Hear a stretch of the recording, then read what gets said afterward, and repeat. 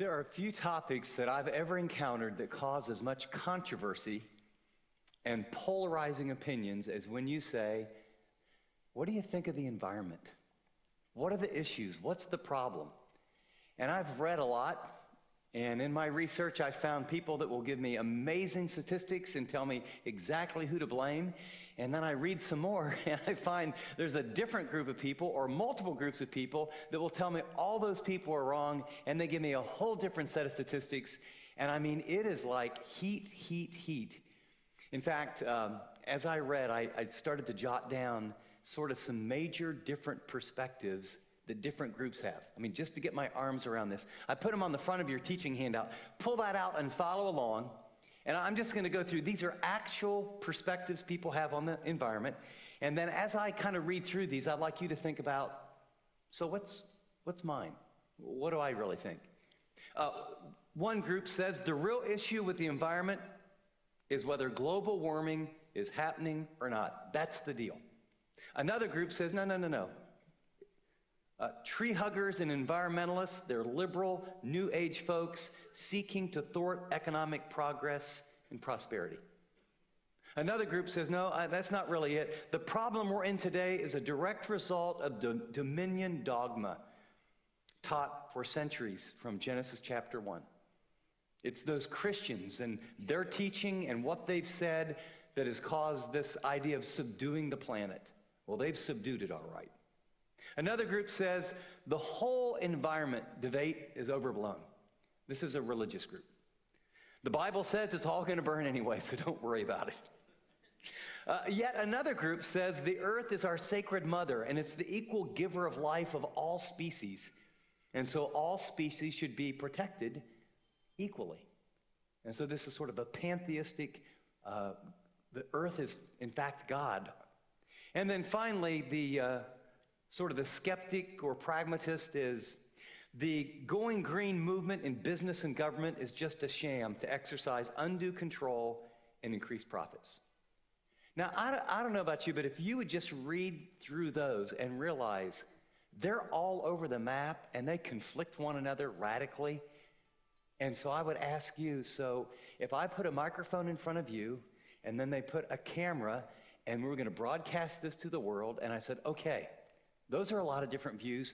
What do you believe about the environment? What are your convictions? What's true? What's false? What's right? How should we live and why? And your answer would be well, here's a confession.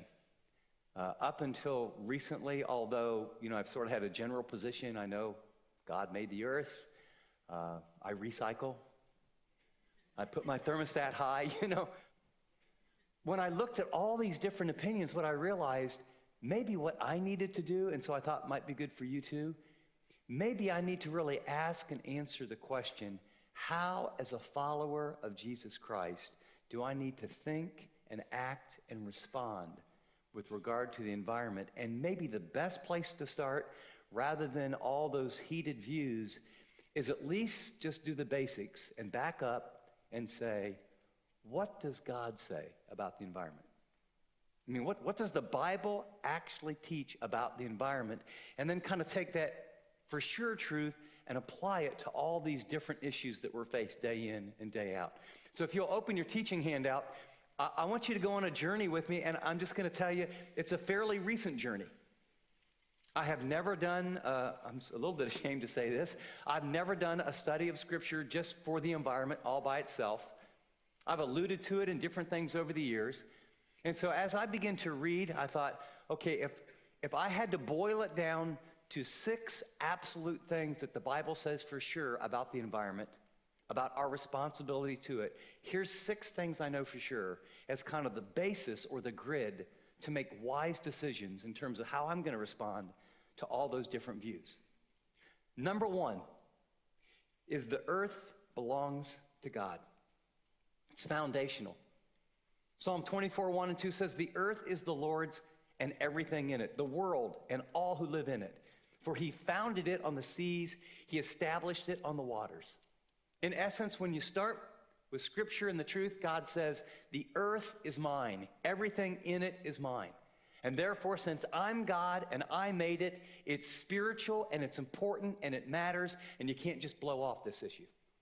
This really, really matters. The implication is we're to honor God's creation. We're to honor God's creation. Now, if you would, op- open your Bibles because we're going to be there in just a second. Just the very, very first page. All right? Genesis chapter 1, just how it opens. The very first thing we learn from the Bible is in the beginning, God created the heavens and the earth. And it goes on in chapters 1 and 2 to talk about that process. And keep your finger there because we'll be back there in a minute. But we're to honor God because He made it, He created it. Not only did He create it, but as He created, He said, It is good, it is good, it is good, is it is good. And then later, He will take the pinnacle of creation, which is you and me, and He'll say, It's very good. So, how do you honor God? He's the greatest artist and he's the greatest architect who's infinite, who's all wise, who's all powerful, and who's all knowing. And one of the great ways we honor him is we respect what he has made. We study what he has made, and we give him honor and credit and praise for the beauty and the provision that he's made for us. The earth is valuable, it is precious, it's irreplaceable, and here's a word you might jot down it's sacred. It's not just a piece of land, it's not just air to breathe. God made it, it's sacred. Um, a trite illustration, but it kind of brought it into focus for me. Early in our marriage, uh, I was working for a guy and um, doing some part time jobs. I was doing some other things. And Teresa and I were going to have a, a, a getaway weekend. And we were very poor. And he was my boss, and he was pretty wealthy and he knew all about it. And so the day that I was going to get away, it was like a Friday for a weekend. He pulls up and he goes, Hey, I have a little gift for you to really enjoy your time. And this will date me, but that's okay. And so he pulls up, and if you can remember, it was like the first or second year the 280Z came out. And it was silver, hottest sports car going at the time. It was super fast. These kind of, it was like being in the cockpit of an airplane, and he hands these keys to me and goes, I want you and your wife to have a really good time. My first thought was, if I wreck this car, I'll die, and it's my boss. And then the second was, I probably should test this to make sure it's going to be okay for, for me and my wife on this trip. And so, boy, I punched that thing a few times. It's like, whoa, this is like way too much fun. And so then, you know, so she get in and we, you know, wow, here I am and going down the road and I feel really cool. And, and so then we get to this little place and I think, I got to park where someone's not near it. You know, if, what if a door hits it? Or here's my point. My boss gave me something precious and sacred that I, it was for me, for my pleasure, but I felt a tremendous weight of responsibility to both enjoy it and not mess it up. How much more? How much more? God thinks that way about the earth and the planet that He's entrusted to you and me. Which is the second point. God appointed mankind dominion over the earth. Psalm 115, 16 says, The highest heavens belong to the Lord, but the earth he has given to man. Underline the word belong and encircle the word given. He's given to man. So God says, I've created this, but I've created it in the highest heavens, and I'm the creator. I've given this to man. Well, what's that mean? Here's the implication we are the earth's vice regents. We're the caretaker. We're the managers. We're the stewards. He says, I've created all this, but I'm putting you in charge. If, if you're still in Genesis 1, skip down to verse uh, 28. It says, God blessed them, speaking of mankind. Be fruitful and increase in numbers. Fill the earth. Subdue it. Rule over the fish in the sea and the birds in the sky and over every living creature that moves to the ground. Those two key words are subdue and rule. They're very strong Hebrew words. They're used elsewhere for taking absolute control. They're very powerful words. It's, God says, I gave you this earth. You are the executive vice president of this planet. You're the vice regents. You're the caretaker. You're in charge. And so there's a real sense of authority and power and do well with this earth. Cultivate it, develop it, grow it, tame it is the idea.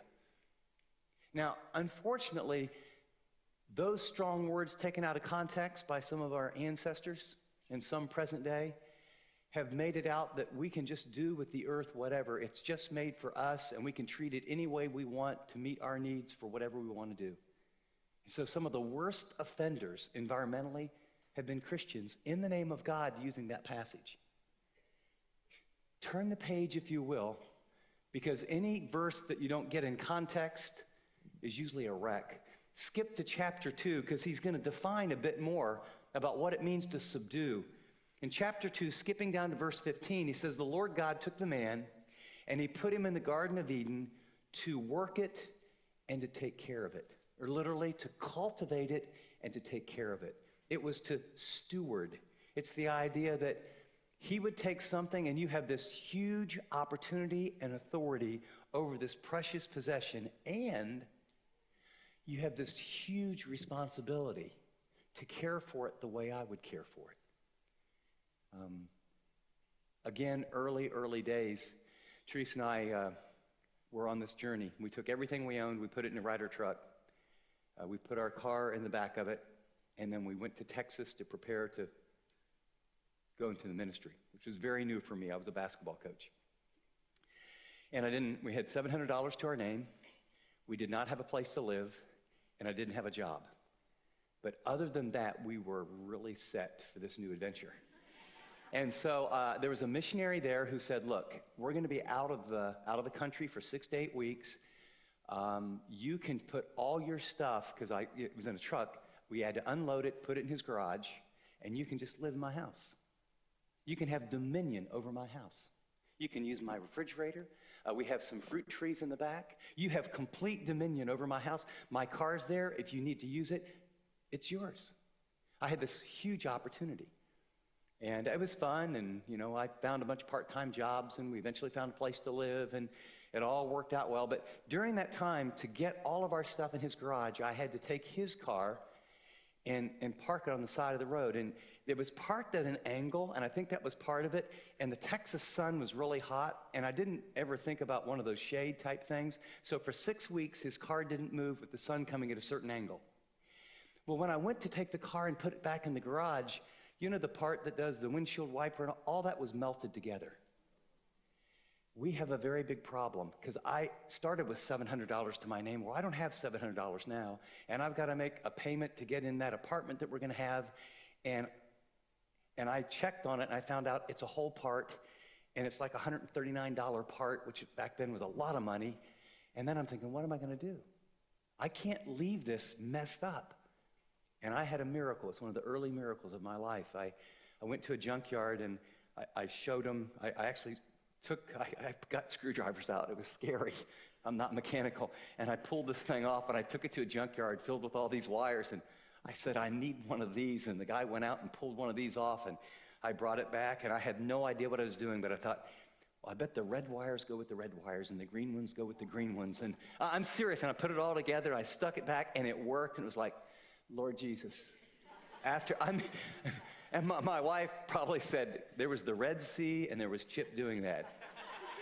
but, but here's what I'm going to tell you it never entered my mind that after he gave me dominion over his home, that I would leave his car in a way that didn't work after I left. Are you starting to get, I want, to, I want you to get the emotion and the feel of how your Heavenly Father feels and thinks about this environment and this planet. That He gave you dominion. You have power to subdue, but to cultivate and to care for it. You're a vice regent. You're a co creator. You're a caretaker. Third, we learn from Scripture that the earth has intrinsic value and reflects the character and the beauty of the Creator. The earth, nature, it has intrinsic value. Notice what the scripture says in Psalm 19. The heavens declare the glory of God. The skies proclaim the work of his hands. Day after day they pour forth speech. Night after night they reveal knowledge. Look at the verbs there. Look at the verbs of communication. They declare, they pour forth, they proclaim, they reveal. Yes, the earth is a gift from God with oxygen, plants, four footed creatures that can become food, uh, creatures that you can put uh, heavy weights on so you don't have to care, uh, creatures that you can learn to cultivate. God gave us subdue, develop, use your mind, be a co creator.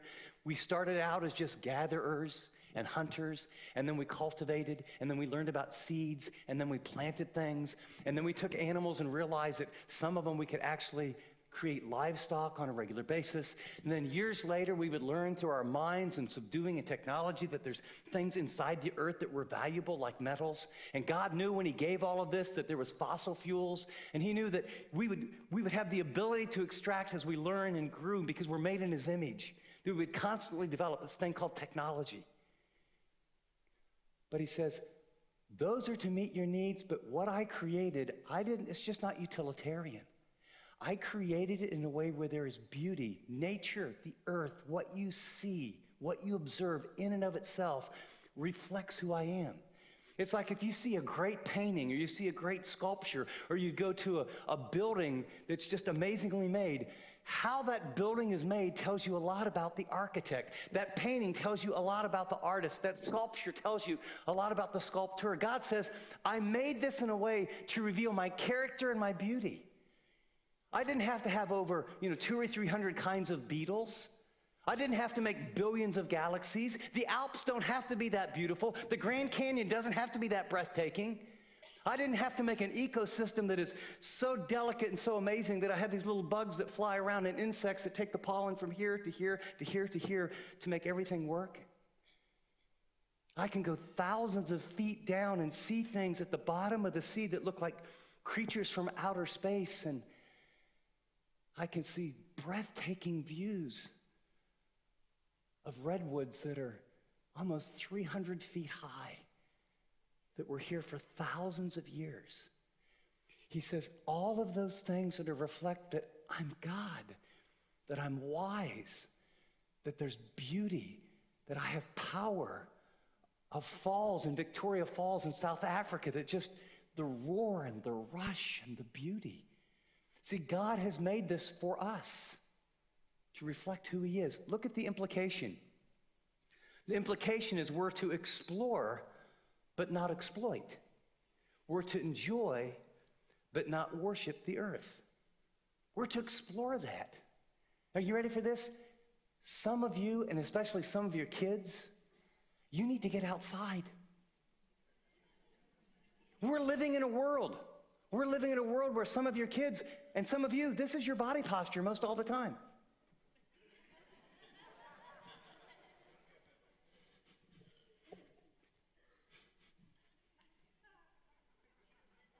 Right? Or some of you, there's stars at night. Trust me, they're out there. There's an ocean very close. There's flowers. Or I watch people now, let's get out in nature. Here's how people take walks.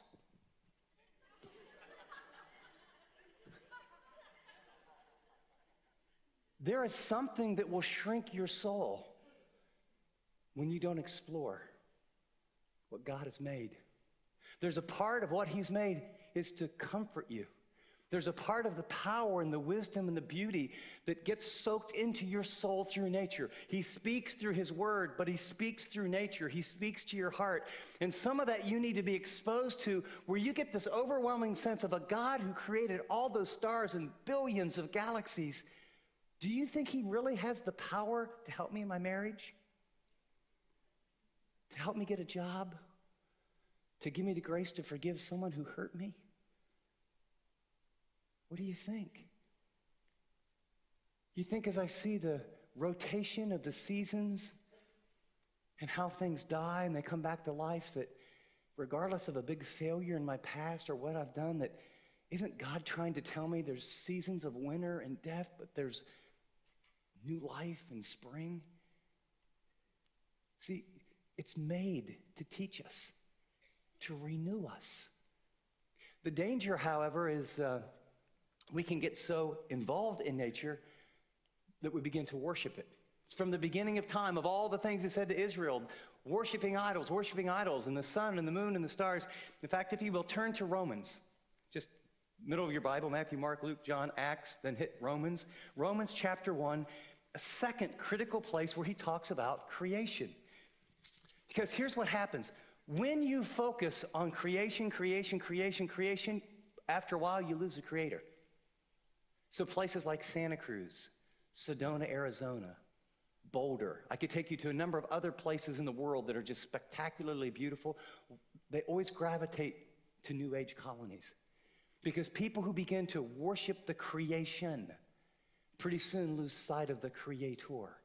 But when you begin to focus on the creator and see his creation, you get an accurate picture of his greatness and his wisdom and his love and his beauty. Notice what the, uh, the Apostle Paul would write, Romans chapter 1, picking up, go down to about verse 19. Since what may be known about God is plain to them, because God has made it plain to them, well, how?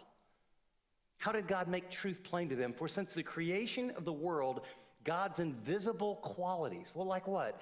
His eternal power, his divine nature, have been clearly seen, being understood from that which has been made, so that people were without excuse.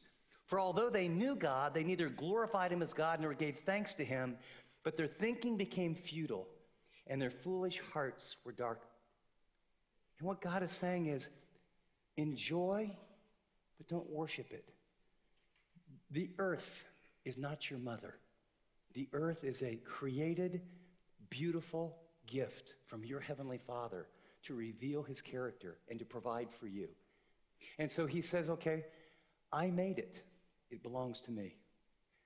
Second, I'm going to put you in charge of it. You are a co creator, you're a vice regent, you're a caretaker, you're a steward and a manager of this creation that belongs to me.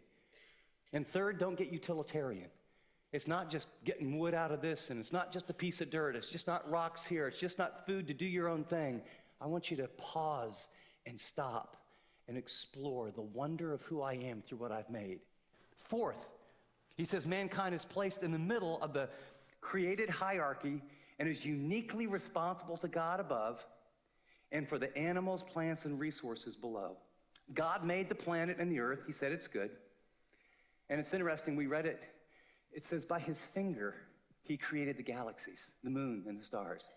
But when God talks about creating you and me, it says he formed us with his hands and he, he breathed life in us, into our nefesh, into our flesh. There's the creator. A little bit lower than the creator, there is mankind made in his image, unlike any animal or any plant. You can think and feel and reason. Stamped in you is the very image of God. You were made for relationship with Him. Then there are animals, animate living things that have breath with purpose. And there's inanimate things like plants and trees and rocks. And right in the middle of that are you and me, mankind. And we have a responsibility and a stewardship upward to our Creator and we have a responsibility downward to treat animals and plants and the rest of the creation with this delicate balance of using it for our good, productivity, and also preservation and restoration. So notice the passage here, Psalm 8. He says, When I consider the heavens, the work of your fingers, the moon and the stars, which you have set in place, and then he, he ponders. He, he, he, in the awesomeness of God, what is mankind that you're mindful of him? Human beings that you care for them. You made them a little lower than the angels, and notice the role that mankind has in the environment. And you crowned them with glory and honor. And you made them what? What's your role? Rulers over the works of your hands. You put everything under their feet the flocks, the herds, the animals, the wild things, the birds, the sky, the fish of the sea, everything that swims in the ocean. Message all living things have value, but not all living things have equal value. The earth is not God, it is not our mother, it is a created thing. Whales and babies do not have equal value. And yet, when we think wrongly about the environment, we kill babies and we save whales. Think of it. It's a theological issue. Should we save whales? Absolutely. But we, but we have movements in the environment, some of the environmental communities that, you know, your dog or your cat or this lizard has the same rights because it is a living species and you're just part of the living species and all of the earth is God.